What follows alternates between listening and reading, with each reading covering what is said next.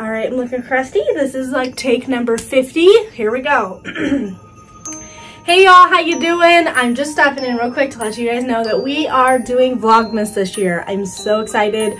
I'm hoping that it goes smoothly. If I don't upload one day, I'm so sorry. I am going to, if there's a day that I need to take a break, pre-film the day before and get a video up for you guys because I really, really, really want to do Vlogmas and possibly start posting every day after that. We'll see how this goes and how much stress is brought on me, but yeah. So without further ado, this is a little intro that I made. I just wanted to kick it off with that. It's not the best. I don't know what I'm doing quite yet. So I hope that you guys enjoy and I will see y'all tomorrow. Bye guys.